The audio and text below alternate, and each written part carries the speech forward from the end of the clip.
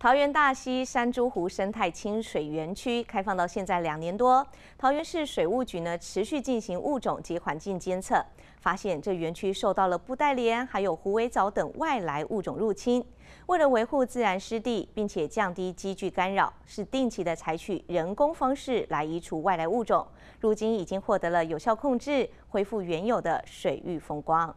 山猪湖生态清水园区水域辽阔，共有七座自然湿地，池内赋予了桃园在地的特殊植物台湾平蓬草以及原生种睡莲，自然生态丰富，如诗如画。不过，桃市水务局原本发现有数池受到布袋莲以及虎尾藻等外来物种侵害，多亏人力去除，恢复水域风光。曼泽兰当然就是我们透过。我们园区的管理的职工，我们一起去，大概只能用人力啦，因为如果说整个整个去割除的话，没有办法除根，哈，所以它还是要等于是用人力的部分去拔除。那水池的部分的话，大概就是我们的福寿螺，好，还有甚至于说有有一些那个美国鳌虾，好，那这种的话，大概就是用，例如说福寿螺可能会用竹竿去吸引它的这个这个卵的部分。然后才能够把这个福寿螺的卵，哦，从源头把它清除。另外，也在湿地周边插上竹竿，利用福寿螺会沿着竹竿产卵的特性，等待时机成熟，再将竹竿倒插水中，减少福寿螺生长。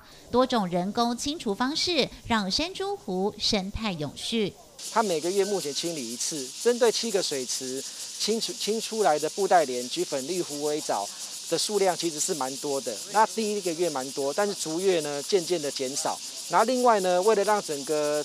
呃整个循环经济能够能够来个持续，我们把清除好的粉地虎尾藻还有布袋莲，会放在我们的堆肥区做堆肥。堆肥之后呢，可以再做其他的